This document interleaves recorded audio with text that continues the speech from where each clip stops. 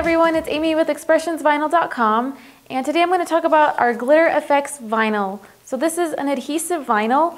Um, you can see the awesome glitter that they've added to this, so that's really fun.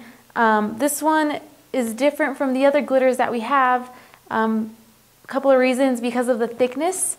So peeling this part, so it has the paper backing just like the regular adhesive vinyls that we have. Um, but I'll show you what it looks like on the back side so you can tell the difference between the other glitters that we have. So there's this gray backing to it and it's thicker than our other glitters. So with this one I played around with a little bit to figure out exactly what I should start with my cut setting. So that's something that you're gonna have to do in May.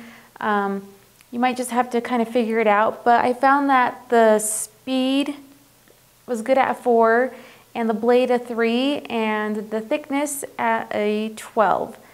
And I'm going to show you how to weed this.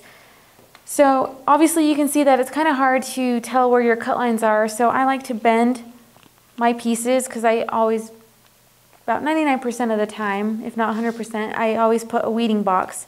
So um, I find one of the edges and I start from there And I always have my weeding tool in case I need to pick at the vinyl to help weed or stay. So this cut setting actually made it very easy for me just to be able to take or to remove any unnecessary uh, vinyl that I don't need. And so weeding this, you can see that it's very sticky. So if it were to touch other pieces of vinyl, you can see that it sticks very well. But it's neat that it's that sticky. That way adheres very well to a lot of the projects. So that's just one thing to keep in mind. You can kind of already tell the thickness just by feeling it.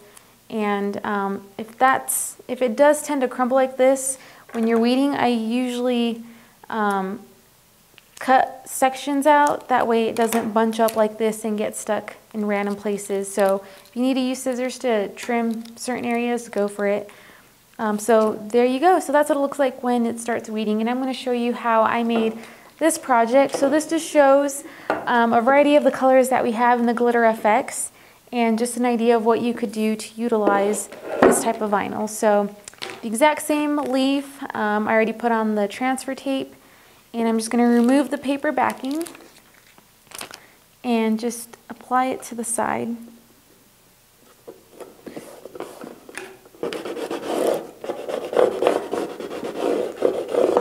So like I said, it's very sticky, so um, make sure that your placement's pretty spot on.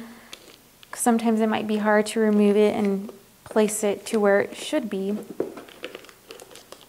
But it has this beautiful color of glitter to it, so um, that's one idea that you could use to utilize our Glitter FX. Make sure to like, comment, and subscribe, and we will talk to you next time. Thank you. Bye.